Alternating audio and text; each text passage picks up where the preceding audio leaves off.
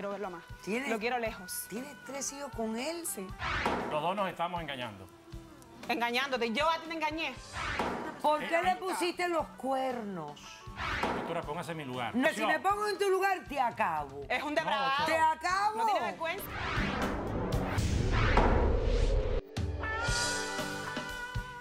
Hay una frase anónima que dice, si la infidelidad fuera solo un problema de sábanas, se arreglaría con agua, pero es imposible lavar la conciencia. Un cordial saludo y bienvenidos a Caso Cerrado.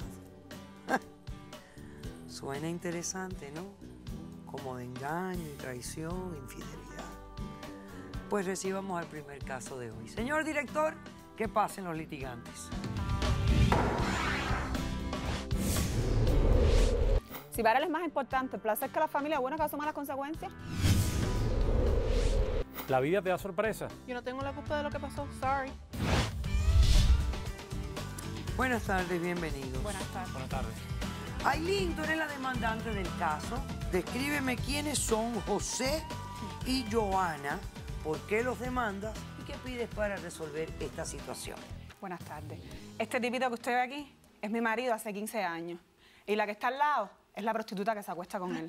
Entonces yo vine aquí para pedirle, por favor, el divorcio a ella que me dé 30 mil dólares por los daños que me ha causado físicos, psicológicos y morales. Y además pedirle de que no tenga derecho ninguno sobre los tres hijos que tenemos en común como padre, porque que es un imposible. indecente, y sobre este que está por nacer. No quiero verlo más. No quiero verlo más. ¿Tienes- Lo quiero lejos. ¿Tienes tres hijos con él? Sí. ¿Qué edades tienen los tres hijos? Cuatro, siete y nueve. Cuatro, siete y nueve. Y está embarazada. ¿Cuánto tiempo tienes de embarazo? Cinco meses. Cinco meses de embarazo. Bueno, a ver, explícame los hechos de este caso, por favor. Prácticamente yo me fui para Venezuela hace 15 años atrás eh, como instructora de arte. Él es un abogado. Hemos estado, estuvimos ahí 13 años. Después decidimos de venir para acá porque usted sabe. Disculpe. La situación que tiene Venezuela actualmente, yo dije, yo no le puedo ofrecer nada a mis hijos de riqueza, no me interesa, pero quiero llevarlos a un país donde ellos puedan hacer lo que quieran. Para adelante yo voy con mi marido y con mis tres hijos. Perfecto. Llegamos aquí, hemos hecho de todo. Yo empecé a trabajar, así como usted me ve, de taxista de noche con dos compañías para ayudarlo, para seguir adelante. Él ha tenido varias entrevistas de trabajo. La última que tuvo, que fue en Orlando, que me dijo que iba de entrevista de trabajo. Perfecto, mi amor, yo la mujercita, yo le doblé sus camisitas, le eché su perfume. Mi vida, no te preocupes, esta va a ser la vez en que tú vas a ver, todo se va a resolver. Por la tarde, cuando yo cojo mi taxi para irme a trabajar y me entra a mi carrera, voy al aeropuerto y monto a la compañera que está al lado de él. Ahí ella me cuenta que ella vino a Miami, a su amor, a un tipo con el que está, un mangón que está riquísimo, que en la cama es lo máximo. Y yo le cuento mi historia. Yo tengo tres hijos, yo estoy casada. Cuando llegamos al hotel, doctora, y yo levanto el maletero para coger sus maletas, y me mira, ¿quién usted cree que yo encontré? Abrazando a mi marido, al hombre de mi vida, al padre de mis hijos, a él. En ese momento, doctora, póngase usted en mi lugar. Yo no sabía si yo tenía que correr, que llorar, que saltar. Las, tiembla- la- las piernas me temblaban y lo que corrí fue más. Yo quería esa hora, yo quería explicaciones. Que a mí me explicara, que me explicaran lo que estaba sucediendo. Y esta caballona que usted ve aquí me acaballó, me acaballó ella a mí. Hasta que yo me pude levantar del piso, cogí mi taxi, gracias a Dios, y llegué al hospital. Mire, doctora, las consecuencias. Amenaza de aborto. Las consecuencias las generaste tú misma. Yo quería explicaciones, es lo único que yo quería. No golpe, ni abuso. Qué descarado tú eres. Qué descarado tú eres. Por eso es que yo hoy aquí le estoy pidiendo 30 mil dólares por los daños que me han causado a él. Eso no es un ejemplo para mis hijos. No, Eh, tuviste eh, una amenaza de aborto. Eh, te pidieron que estuvieras en reposo tres o cuatro días, que te hidrataras mejor hasta que parara el sangramiento, que no levantes objetos pesados. sangramiento por los golpes que ella me dio. Yo no te di golpe. Tú me diste golpes. Yo no te toqué. Yo no llegué al piso porque yo quise. Defendiéndome de la locura. Ahora, ¿qué pasó con tu trabajo? Eh, porque yo sé que estas compañías... Me la eh, cerraron, doctora. Me la te cerraron a ti. Este compañero, en el momento en que pasó toda la agresión, salió corriendo. Y la compañera me agredió. Pasaron 15 días, doctora, y yo no supe de él. En ese lapso de 15 días yo dije, bueno, aquí tú eres la mujer, tú eres la madre, tú tienes que retomar, tú tienes que ir para adelante con tus hijos, tú tienes que luchar, porque yo con mis hijos hago lo que tenga que hacer. O sea, pensaba hasta perdonarle la infidelidad. Claro, claro, si yo llevo 15 años casada de matrimonio, yo dije, él es un hombre, como dicen ella, la carne es débil. Nada, ella lo sedujo, yo dije, no, no importa, vaya, si él me pide perdón, si él me da una explicación doctora. plausible, que yo pueda entender, no me importa, doctora. Yo todavía tengo mis conceptos, mis principios, que el matrimonio es importante, que es importante que unos dos, niños los crezcan en una familia. Doctora, después de 15 días que él se había perdido y no aparecía, llega a mi casa y me dice así, yo me voy, porque yo estoy con la mujer que llevamos, yo, ya. Esa es la explicación que él me da. Después, cuando yo trato, le vuelvo y le repito, de ponerme a trabajar, yo me encuentro de que yo no tengo trabajo, que mi aplicación está cerrada porque la señora me demandó por, por Pues Claro, si me agresión. atacaste. Te puso yo la ataqué. querella. Yo Me quería atacaste, simplemente explicaciones, encima. entender lo que estaba sucediendo. Los dos nos estamos engañando. Engañándote. Yo a ti te engañé. Los dos nos ya estamos no- engañando. Ya- ya, doctora, ahí ya se había acabado la chispa. Pero, y- eh, pero, perfectamente, Pero ¿por qué No se lo dijiste? ¿Por qué, la- Doctora, ¿por eh, qué le pusiste los cuernos? ¿Por qué? Doctora, póngase en mi lugar. No, no, no, yo no va. me tengo que poner en tu lugar. Déjeme poner De- mi porque si me pongo en tu lugar, te acabo. Es un depravado. Te acabo. ¿No tiene vergüenza? No, no. Porque en tu lugar yo no hubiera hecho eso.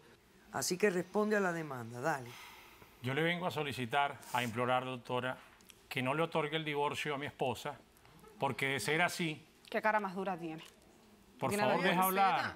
De ser así, doctora, Respeta yo tú. estoy en un proceso migratorio. que sea así. soltero. Mírate tú. Estoy en un proceso migratorio, ¿ok? De que de otorgarle el divorcio, a mí me deportan a Venezuela. Eso es lo que tú te buscaste. yo desde Tú no lo Venezuela pensaste no puedo. antes. Pero tú no crees en tus Depravado. No, no, yo no, creo en no mis hijos, y creo en el No matrimonio, y creo en el respeto. Ellos. De, No como de- tú. de usted otorgar el divorcio, doctora, La a mí me esposa de mi deportan automáticamente porque quedó ilegal, como usted bien lo dijo al principio. ¿Qué pasa? Yo desde Venezuela, usted sabe la situación, yo no puedo ayudar a mis hijos desde allá. Yo quiero que mis hijos... Pero si tú eres abogado. Pero la situación en Venezuela ya no está bien. Imagínense mis niños sin su papá aquí. Inclusive Doctora, el bebé que Los niños estaban sin su papá. Su La papá estaba tan ocupadito juntico. buscándose amantes. Que ¿Qué tenían los niños? No, es que es una relación A que hace tiempo se acabó, ¿en cuánto tiempo se va a resolver el problema migratorio tuyo? Faltan cinco meses, doctora. Casi es el mismo tiempo que, que nazca el bebé. ¿Y él quiere ser papá de qué? ¿Dónde? tú qué? En Pero su- tú tienes que pensar más como, como madre Ok, y no ¿y como tú qué mujer. tienes En que responder? Ella yo. quiere 30 mil dólares por los daños ocasionados aquí. Sí, ella lo que quiere es dinero. Es una persona ambiciosa. Ella lo que quiere es, a- además de lo que ya ella me robó, Le tumbó el marido y mira lo que dice. Del dinero que ella me robó. Yo todavía tengo amenaza de aborto. Si yo pierdo a mi hijo, Déjame Ya, 30 hablar. mil dólares que no vale mi A hijo. ver, déjame hablar. ¿qué fue lo que te robó? Cuéntame. Ok. Cuando ella me recogió a mí del, del aeropuerto, yo no tenía ninguna idea en qué momento voy a dar, imaginarme yo que la persona que me estaba recogiendo al aeropuerto era la esposa de mi novio. Entonces, claro, yo tuve De una conversación con una conversación con ella, simplemente hablando cosas de mujeres.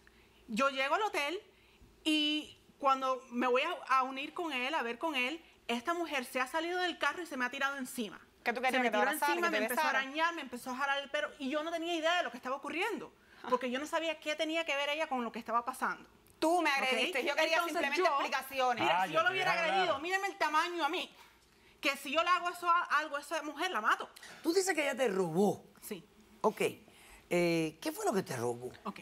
Después de que ella me atacó y yo me la quité de encima, Ok. ella salió corriendo, se metió al carro y se fue. En el carro estaban mis dos maletas.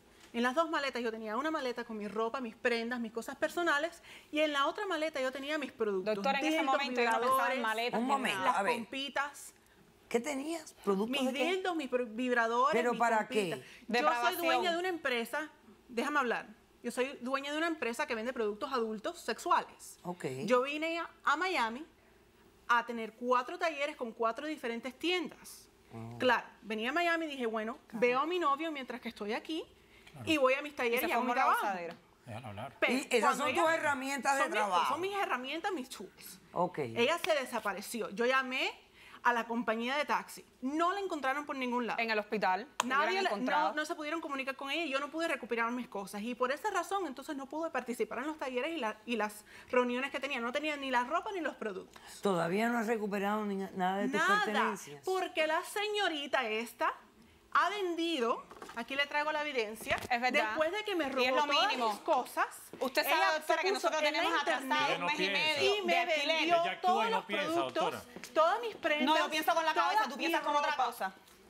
Eso es robo. Esa es la Eso diferencia. es robo. Póngalo, señor director, ahí arriba. ¿ok? Entonces me robó todas mis cosas, me hizo perder de 50 mil a 100 mil dólares, porque eso es lo que yo iba a ganar en el año con los cuatro contratos que me iba a ganar. Perdí dinero por ella, por su violencia y por su locura. Debería estar Por mi violencia y por mi agradecida. locura. Ella lo que debería Mientras estar tú estabas agradecida gozando con él, yo estaba viendo cómo yo tenía que pagar la renta de mis de ladrona. Y los me de mis hijos. Déjame hablar. Por el De descaro de que yo no la acuso de ladrona y que no le Eso fue una cosa que yo no le dije. Nosotros teníamos atrasado un mes de alquiler mientras él estaba Eso no es perdido. mi culpa, un mes eso no y es mi medio, ahora problema. son dos meses. ¿De dónde iba a sacar yo dinero? No, Con de mi mis aplicación cosas, cerrada por el descaro de ella. Y él perdido. Es una Entonces, ladrona, ¿no pudiste perdido. comunicarte con él para pagar la Doctora, renta? si él estaba desaparecido. Ella dice que a mí me Él no contestaba el celular. Y él no contestaba el celular. Él no contestaba el celular, yo. ¿Contestaste el celular para que tu mujer pudiera pagar la renta que tenía mes y medio de atrás? Y que él sabía, y que él Doctora, en sabía. esa situación, de verdad, que sabía. que, que no pensé, yo pensé que era lo mejor. Tú eres un porquería. ¿Ok? Qué bueno que jamás me hizo falta un abogado en Venezuela y no hubiera dado yo contigo, porque tú hubieras sido los vendidos más grandes. Pásame los dos testigos, porque no das la cara. No eres macho. No eres. No, no es macho. No lo eres. No eres hombre. Él siempre fue buen No padre eres y buen hombre.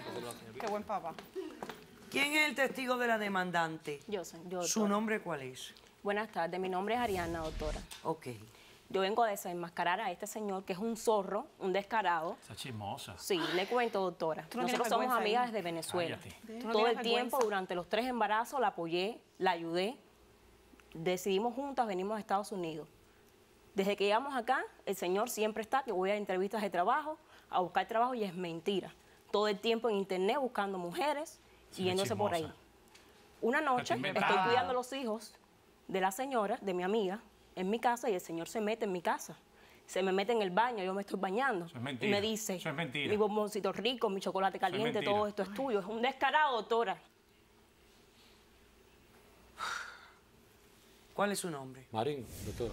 Ok. Eh, yo soy eh, el portero, el maletero de- del hotel donde se dio el incidente. Ok. Esta señora, que para mí necesita tratamiento psiquiátrico urgente, También. llega allá y entonces me pide cómo localizar el nombre, la habitación de ellos. Doctora, mi marido estaba perdido, estaba Y entonces, al decirle que suena la política del hotel, poder darle esa información, empieza a agredirme a mí. Me rompió la guayabera, me rompió la- el reloj que tenía puesto en la mano, me escupió un ojo, me dio un escopitazo. Incluso tuve mala seguridad para sacarme del hotel. ¿Usted tiene evidencia de lo Sí, que me está diciendo? Eh, yo se entregué a producción para que la pusiera. Hay unas imágenes. Sí. Ok, veamos, señor director.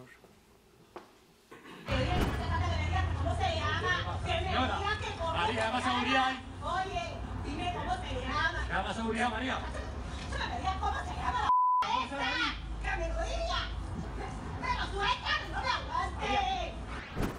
Yo lo único que quería saber, Imagínese, ese doctora, perdido no me imagínese mis hijos Si ella estaba en con una hotel, persona así sola. Y yo en él tenía que Venezuela, estar con doctora. ella. Dile Creo al que yo doctor quería Leal saber qué dónde pasa. estaban.